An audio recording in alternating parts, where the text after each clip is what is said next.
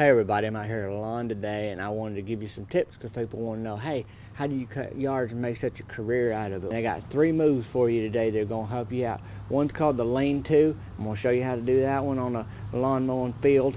Another one's called the I stepped in some gum. And the last one's called the 50-yard dash. And these three moves not only get your job done nice and easy and quick and beautiful and everything like out of the way, but they also work your body you get your arms toned and your legs toned, and next thing you know, you're fit as a fiddle and you're raking in the money.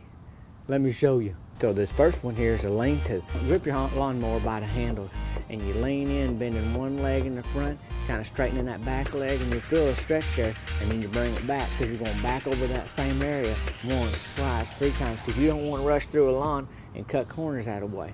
And some lawns are trickier than other ones and you get in small spots, the lean-to is going to help you big time.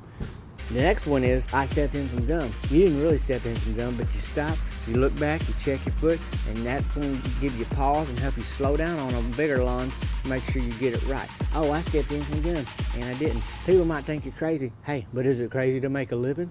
And finally, it's a 50 yard dash. You know them big lawns, they straight, they even, and they ain't got any rocks in them. And you can just haul tail and get that thing done. And boy, that's gonna build all kind of musculars in you. And I got another one called a donut. You start off wide and you go in a circle till you get all the way into the middle like you're cutting into a donut. It's the shape of a donut, and at the end you're hungry for a donut and a snow cone. You start the day with a donut and you end it with a snow cone. It's a real good day.